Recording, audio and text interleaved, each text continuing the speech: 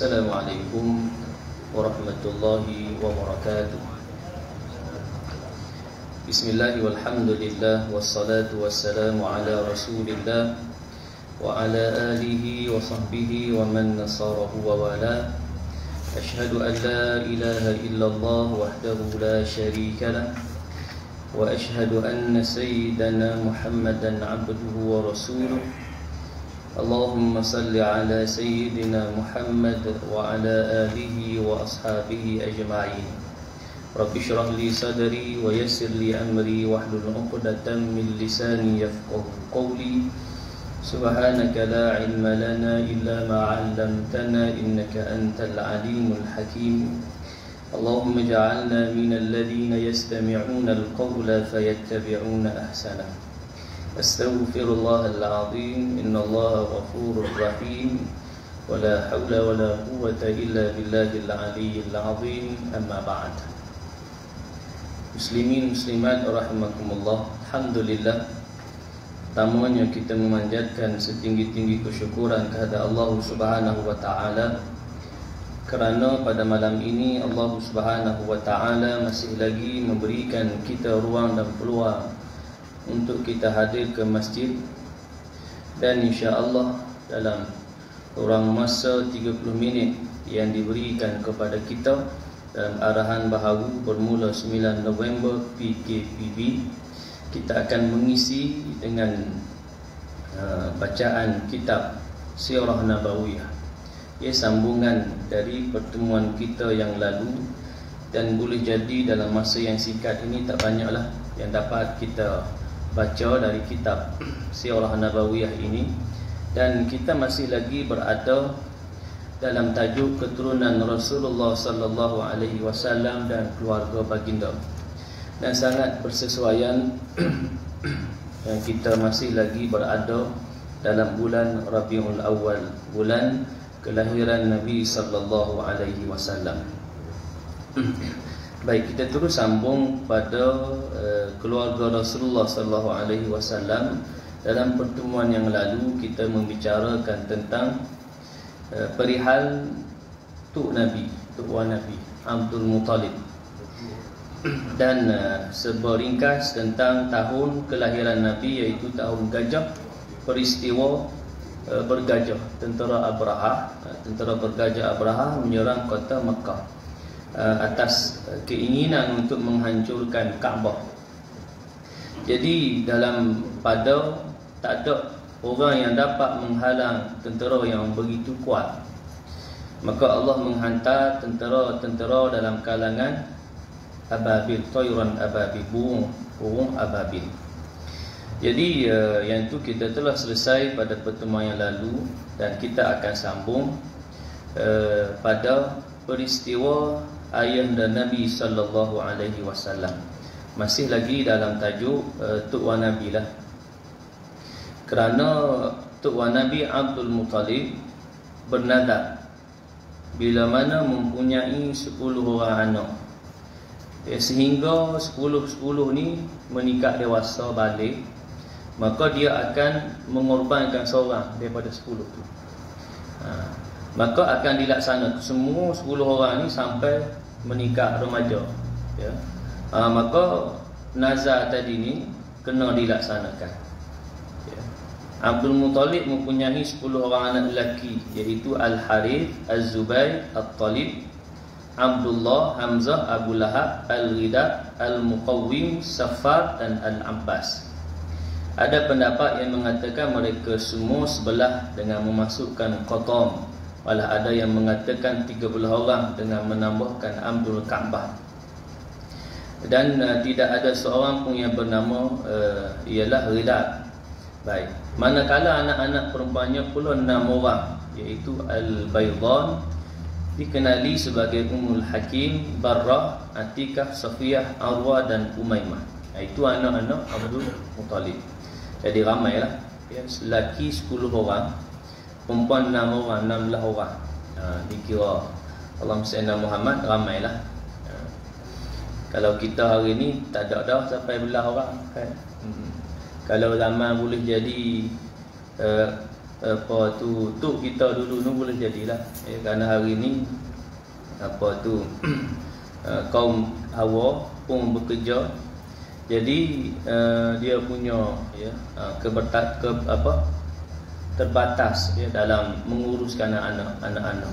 Jadi lingkungan lima nawa tu pun ramai dah. Hmm. baik.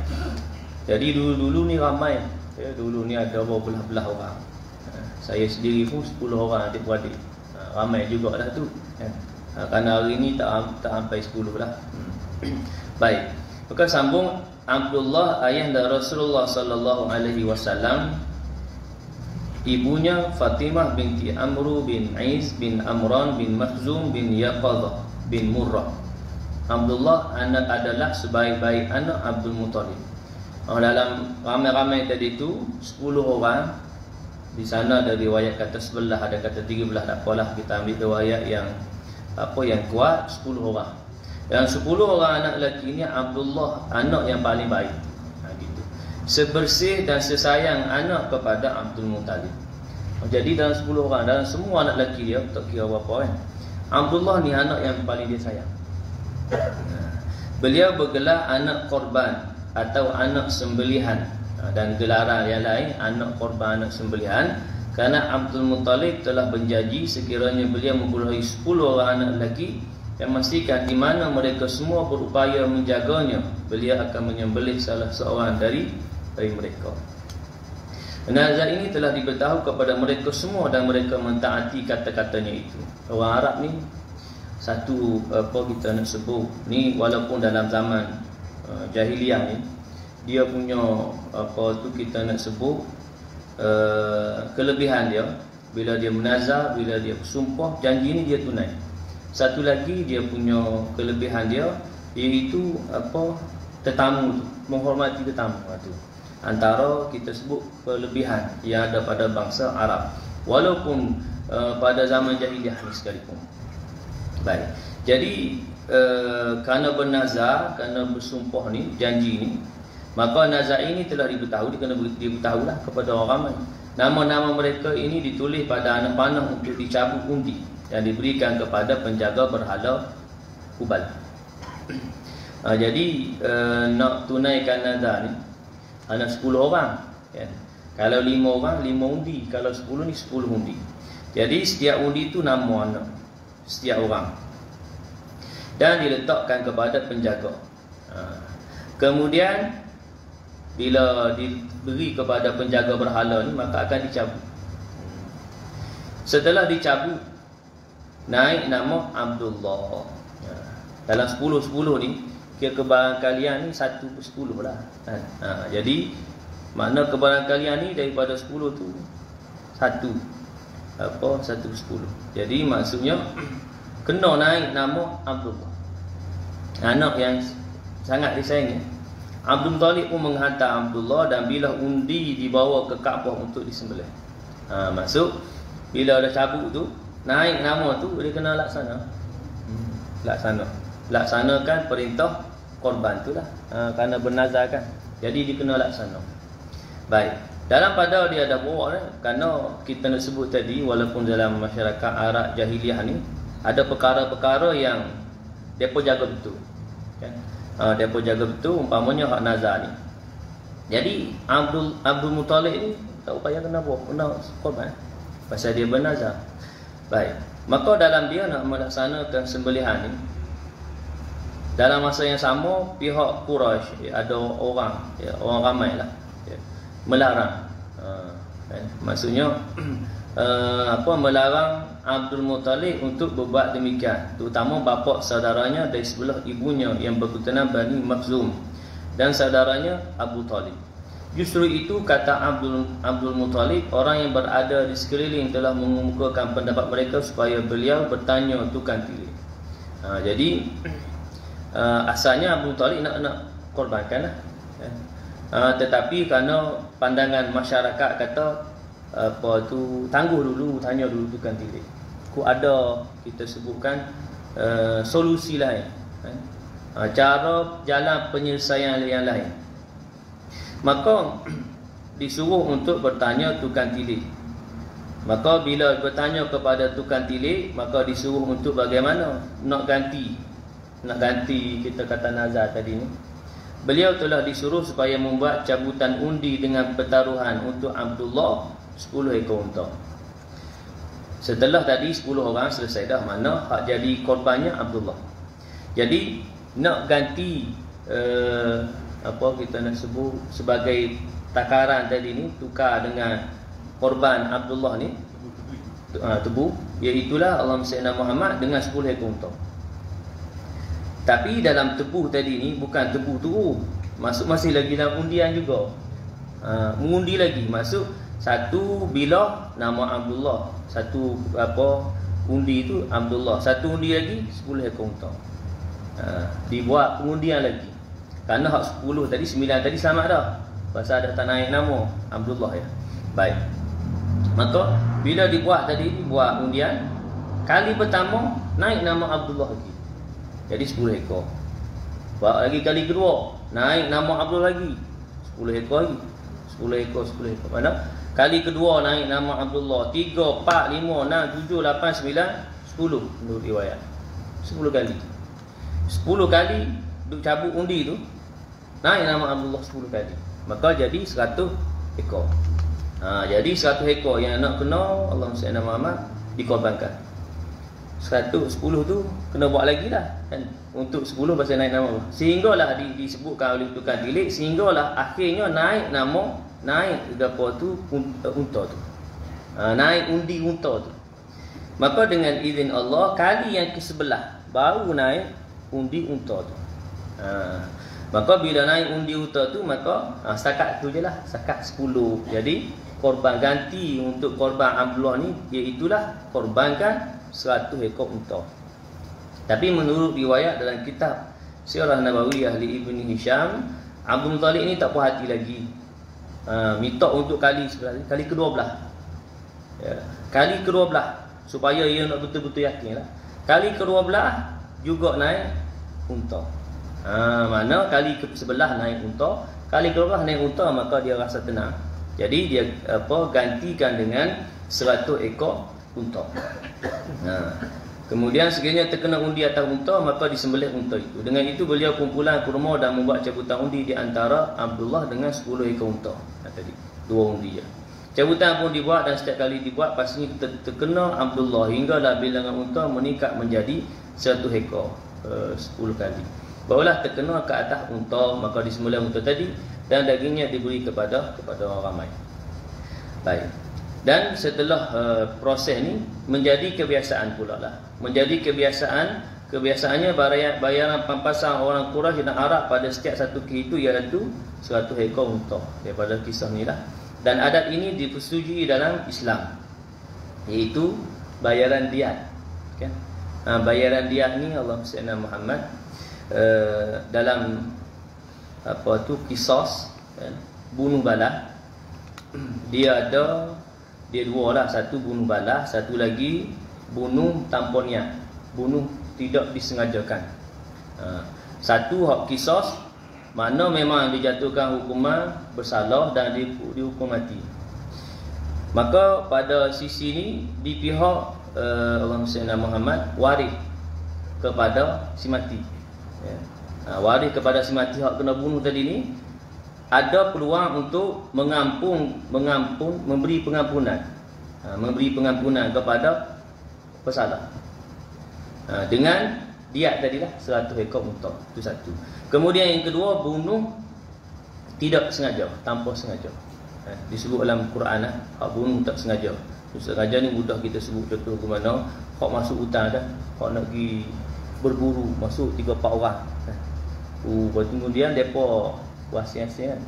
Kemudian dia nampak kijang tembok. Rupanya mesti kawan dia kan. Ha itu. Kan berapa pokih belah tu kan. Tembok tengok tengok tu kawan. Dia nampak kijang biasalah dalam hutan kan. Ada makhluk halus.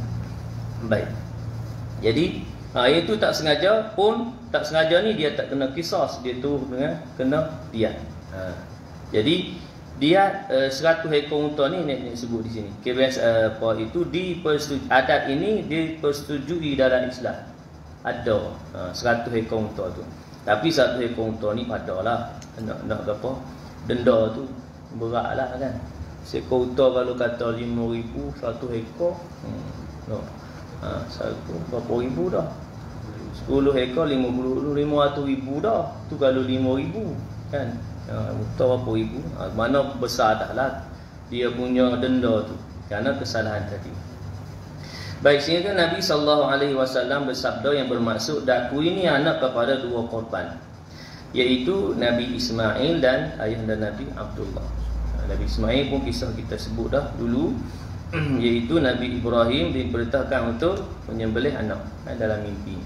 Ha, jadi Nabi wasallam adalah anak kepada dua korban yang kira kata uh, nak dilaksanakan. Ya, tetapi Allahumma salli Muhammad uh, tidak apa nama tidak sampailah ya, digantikan. Ya lagi Ismail Nabi Ismail digantikan dengan seekor kibas yang dijadikan apa uh, ibadah korban tu pada hari raya Idul Adha. Baik. Abdul Muttalib memilih Aminah. Ha, ini mari kisah Abdullah. Abdul Muttalib memilih Aminah binti Wahab bin Abdul Manaf bin Zahrah bin Kilab sebagai teman hidup Abdullah. Aminah merupakan perempuan termulia dalam kalangan Quraisy dari segi nasab, keturunan dan kedudukan. Ha, ibunda Nabi disebutkan dalam riwayat bahawa wanita yang termulia, terbaiklah dari sudut nasab, keturunan dan kedudukan. Abdullah telah telah menidurinya di Makkah. Ini mari sebut riwayatlah. Ya dalam sirah. Tidak lama selepas perkahwinan itu Abdul Muttalib telah menghantarnya ke Madinah untuk memperolehi tamar di sana dan beliau mati di Madinah. Ha, jadi Abdullah ni keluar ke apa tu Madinah dia dalam dia tak tahulah ya dalam pada dia tak tahu Aminah itu hamil lah ada pendapat mengatakan beliau keluar untuk berniaga ke Syam bersama-sama golongan Quraisy. Beliau singgah di Madinah dalam keadaan sakit berakhir dengan wafat di sana dan dikebumikan di Nabirah Al-Ja'di. Usia beliau pada ketika itu 25 tahun. Ha, meninggal di usia muda. Ayah dan Nabi sallallahu alaihi wasallam meninggal usia 25 tahun muda. Beliau wafat sebelum kelahiran Rasulullah sallallahu alaihi wasallam. Ini riwayat yang yang kuatlah. Ini adalah pendapat terbanyak ahli sejarah. Namun ada pendapat mengatakan bahawa beliau meninggal dua bulan selepas kelahiran Rasulullah sallallahu alaihi wasallam. Ada pendapat pandangan yang wari yang janggal ha, kata uh, kewafatan ayah dan nabi selepas dua bulan kelahiran. Tapi pendapat yang kuat yang kita pegang yang disebut tadilah ketika nabi dalam kandungan ibunya. Baik. Kemudian disebutkan keseluruhan peninggalan Abdullah ialah lima ekor unta. Sekumpulan kambing, seorang hamba perempuan dari keturunan Habsyah dikenali dengan nama Ummu Aiman dan beliau adalah pengasuh Rasulullah sallallahu alaihi wasallam. Ha, ini beberapa uh, kisah menerangkan tentang kisah Abdullah ayah dan Nabi sallallahu alaihi wasallam dak panjang.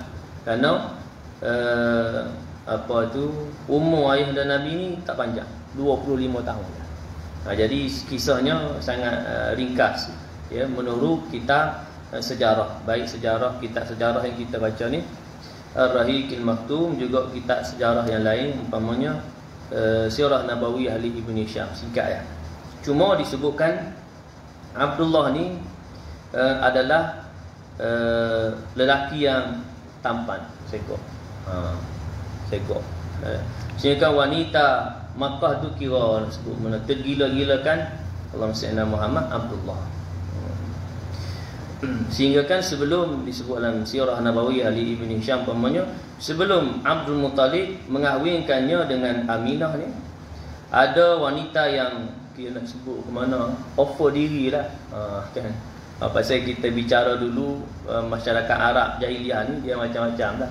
Ada empat kategori Allah SWT Muhammad hubungan lelaki dengan perempuan yang kita baca dulu satu melalui perkahwinan yang ni tak tak banyak yang ni dalam kalangan bangsawan lah ha. kemudian yang kedua disebutkan uh, Allah SWT Muhammad suami suami isteri ya. dia berkendak anak daripada nak nampak apa uh, anak yang daripada lelaki yang dia berkenan. Ya, boleh jadi pada cerdik dia, boleh jadi pada ketangkasan dia, sadar dia apa semua. Ha, jadi suami tadi suruh isteri tidur dengan lelaki tu. Nak dapat anak daripada lelaki tu. Itu nombor dua. Nombor tiga, nombor empat ni iaitu dari sudut apa tu perzinaan. Ha, perzinaan hak biasa. Baik. Jadi itu masyarakat Arab jahiliah. Ya, maka pada Abdullah itu berlaku demikian offer daripada wanita tapi Abdullah menolak ha, menolak. Ya, kerana apa tu kita sebutkan lahirnya Nabi sallallahu alaihi wasallam daripada nasab yang paling baik. Keturunan itu nasab ni tidak ada yang ke atas ni sehingga sehingga ke atas. Tidak ada yang melalui proses kita sebutkan perzinaan saja. Ha, kerana Allah pelihara nasab. Sehingga kan disebutkan nasab daripada ayahanda dan bonda Nabi wasallam nasab yang paling paling mulia. Ha, menjaga semua tu dari sudut uh, hubungan ya, lelaki dan perempuan dengan pernikahan yang yang menurut hukum yang ada pada masa itu. Bukan melalui perzinaan yang tiga tadi itu. Ya, hak pertama perkahwinan biasa. Hak yang ketiga lagi yang baki. Yang ketiga-tiga ni walaupun dapat anak ni akan di disah tarafkan. Ha, kita bicara dulu kan akan disah tarafkan. Ha, ni kompon darah. Ha, ha, sah taraf dia pasal suami isteri tu cuma yang nak anak daripada lelaki mana. Hak dua ni pun akan disah tarafkan. Ya. Hak yang ketiga disebutkan wanita dia melakukan hubungan dengan lebih kurang 10 orang dan ke bawah dah ramai. Jadi bila mengandung dia akan memilih seorang daripada 10 orang tu akan jadi ayah. Dan 10 orang tadi ni 8 orang ni dia kena aku dia kena terima. Okey. Yang keempat, yang ni hak pelacuran biasa lah, persidangan biasa. Maksud seperti pelacuran, mana ramai lelaki yang bersama dengan dia dan ada catatan lah, maksudnya ada rekod. Sehinggalah wanita tu mengandung, dah ramai sangat tadi ni, hak ni jumpa tukang tilik. Pasal ramai sangat. Hak tadi tak jumpa tukang tilik, pasal tak ramai, boleh jadi 3, 4 orang ke. Kurang daripada 10. Hak ni lebih dari 10. 50 ke. Kan? Jadi cari tukang tilik Kemudian tukang tilik itu akan buat tilik-tilik ni ha, Maka di tilik-tilik nampak laki nombor 25 ha, Betul Jadi laki 25 tu kena aku kena terima. Ha, Maka anak tadi tu dinasakkan kepada laki ha, Ini pada masyarakat Arab Jahiliah tu. Tapi nasab Nabi SAW dipelihara dengan begitu baik. Ya, Sekali ya, Kerana Allah Subhanahu Wa Taala nak lahirkan manusia khairul bashar. Sebaik-baik manusia. Sayyidul anbiya wal mursalin, penghulu bagi sekalian nabi dan nabi dan rasul. Baik. Kemudian kita sambung sikit lagi kelahiran Rasulullah sallallahu alaihi wasallam. Rasulullah sallallahu alaihi wasallam penghulu para rasul telah dilahirkan di Syuaib Bani Hashim di Makkah pada pagi hari Isnin 12 Rabiul Awal di permulaan tahun tahun kaca. Ha ni riwayat. Riwayat yang kuat. Dan tahun ke-40 dalam perintah pemerintahan Raja Kisra Anushirwan bersamaan 20 atau 22 April tahun 571 Masehi mengikut perkiraan uh, ulama Agung Muhammad. Baik. Ibnu Sa'ad meriwayatkan bahawa ibu Rasulullah sallallahu alaihi wasallam menceritakan ni uh, apa riwayat mari sebut. Ketika aku melahirkannya satu cahaya telah keluar dari farashku menerangi mahligai-mahligai di negeri Syam. Periwayatannya hampir sama dengan apa yang diriwayatkan oleh Al-Irbad bin Sariyah. Beberapa irhasat. Irhas irhasat ni perkara pelik yang berlaku. E, perkara pelik yang berlaku kepada Rasul Nabi Rasul sebelum dilantik menjadi Nabi Rasul. Satu lagi mukjizat. Irhas sebelum. Jadi disebutkan di sini irhasat petanda-petanda pelik yang berlaku kepada Nabi sallallahu alaihi wasallam yang mula lahir kan sejak sebelum lahir. Kebangkitan seorang rasul irhasat kebangkitan seorang rasul telah berlaku beberapa ketika sebelum kelahiran Rasulullah sallallahu alaihi wasallam antaranya runtuhan 14 anjung dewan Kisra Parsi terpadamnya api yang disembah penganut agama Majusi yang tak pernah padam Robohnya gereja-gereja di sekitar Tasik Sawah setelah sebelum ini penuh sesak dengan para pengunjung. Riwayat oleh Al-Bahaqi tetapi tidak disepakati oleh Muhammad Al-Ghazali. Sebaik saja baginda yang inilah. Uh, baik, sebaik saja baginda dilahirkan, ibunya Aminah segera memberitahu kepada Datuk Nabi sallallahu alaihi wasallam Abdul Muttalib kerana uh, ketika lahirnya Nabi ayah dan Nabi sallallahu alaihi wasallam telah wafat. Mengenai perkhabaran yang baik itu dengan itu Abdul Muttalib terus mengambil dan membawa baginda ke dalam Kaabah untuk berdoa dan bersyukur kepada Allah. Beliau telah memilih nama Muhammad sebagai nama kepada cucunya. Nama itu tidak pernah dinamakan kepada sesiapa pun oleh bangsa Arab sebelum ini. Ha. Ini satu lagi uh, sebutkan irhas lah. Ya. Uh, nama ni sejak Nabi Adam sampai kira Nabi Muhammad berapa ribu tahun ni. Makna uh, tidak terlintas dalam dalam kepala nak beri nama anak nama Muhammad. Karena Allah pelihara nama ni special untuk Nabi sallallahu alaihi wasallam. Ha, setelah Nabi sallallahu alaihi wasallam tak apalah kan. Ha, kan nama kita kan nama anak kita pun biasa diikat dengan Muhammad lah. Kata-katanya Muhammad apa Muhammad apa kan. Ha, bagaimana nak mengambil apa itu uh, barakah daripada nama Nabi Muhammad sallallahu alaihi wasallam. Jadi sebelum Nabi Muhammad ni nama tak ada lagi nama Muhammad. Tak ada lagi siapa pun beri nama Muhammad. Ha. Allah pelihara nama tu untuk Nabi sallallahu alaihi wasallam. Ha. Mana Allah uh, apa menghalangilah orang sebelum-sebelum tu nak beri nama Muhammad. Jadi dia fikir dia tak mari, fikir dia nak beri nama apa nama nama tak, tak mari. Walaupun bahasa Arab bahasa Arab ni bahasa Arab Muhammad yang terpuji. Tetapi tidak tubik tidak keluar nama tu. Pasal Allah pelihara untuk Nabi sallallahu alaihi wasallam. Ha. Mana kita sebut special nama tu. Allah beri special atas Nabi sallallahu alaihi wasallam walaupun berlalu zaman demi zaman tu. Lama dah. Baik.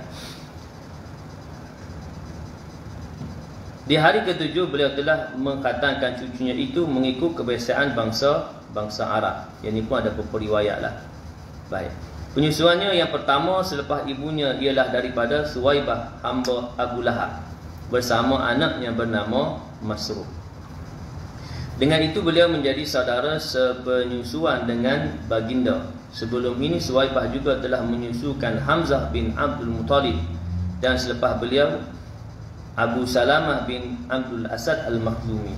Ya, jadi eh, pak saudara Nabi Hamzah pun Eh, dalam pada jadi bapa saudara jadi adik-beradik sepenyusuan. Uh, tu. Tapi lelaki-lelaki tak ada apa kesan. Pasal dia tak menikah. Uh, dia kalau dengan perempuan je lah dia kesan dia tak boleh menikah. Ya, adik-beradik sepenyusuan lelaki dengan perempuan tu bila dia beradik satu penyusuan menurut mazhab kita syafi'i imam syafi'i lima kali kenyang. Nah, bila lima kali tapi kalau di zaman uh, apa ni masa ni ni bukan sekali lima kali ni.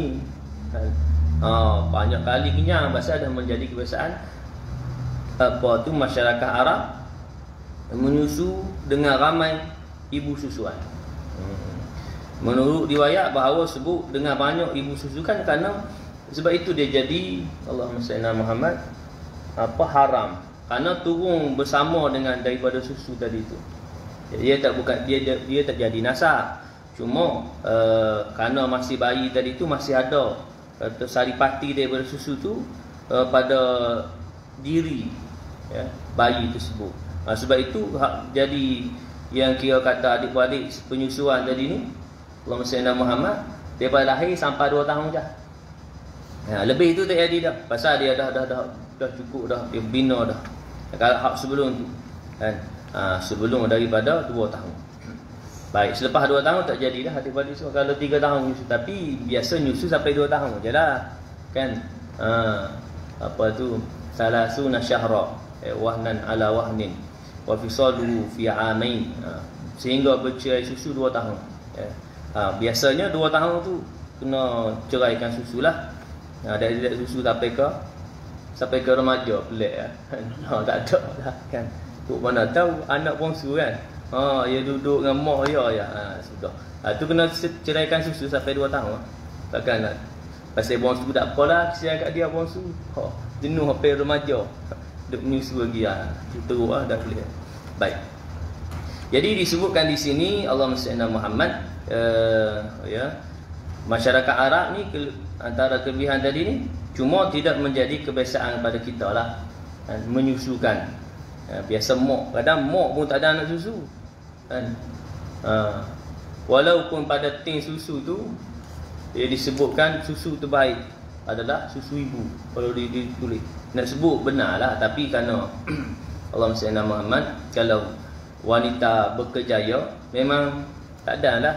Kan ha, tak ada lah susu sampai 2 tahun. Tapi kalau susu sampai 2 tahun maka dia akan membina tubuh dengan sebaiknya.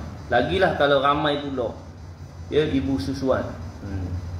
itu masyarakat Arab Allah SWT Muhammad uh, siap upah ni. Upah nanti kita bicarakan. Allah SWT Muhammad uh, Halimah itu Sa'diah datang ke Makkah nak cari anak susuan.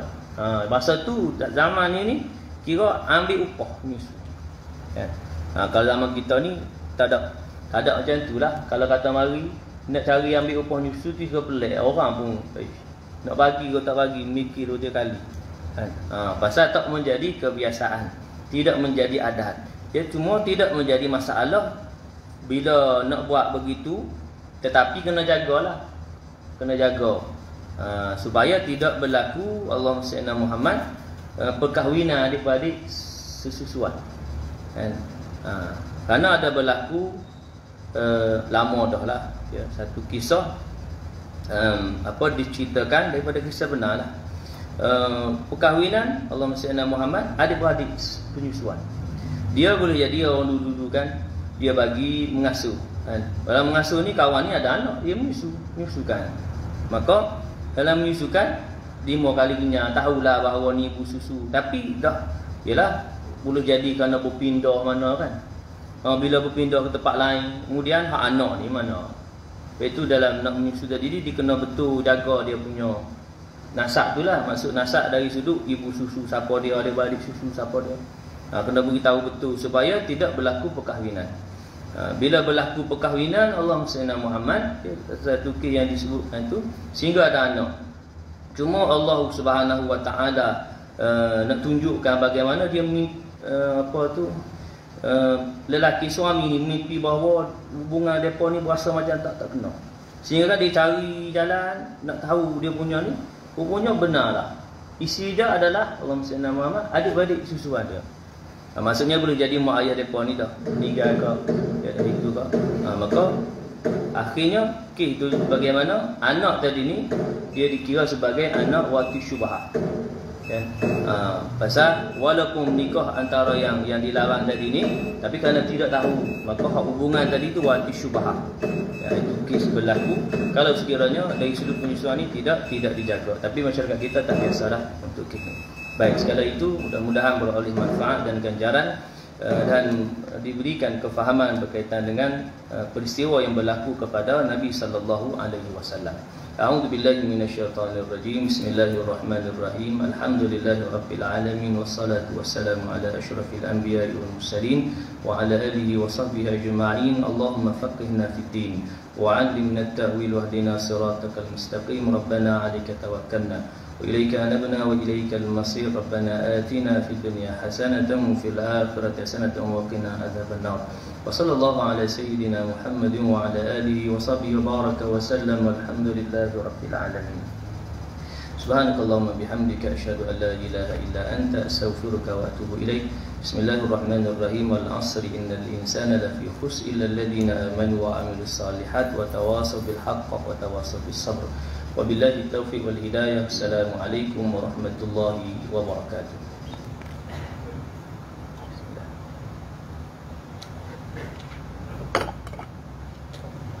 Bila ada bunyi sikit ni tak kacau Ustaz. Allah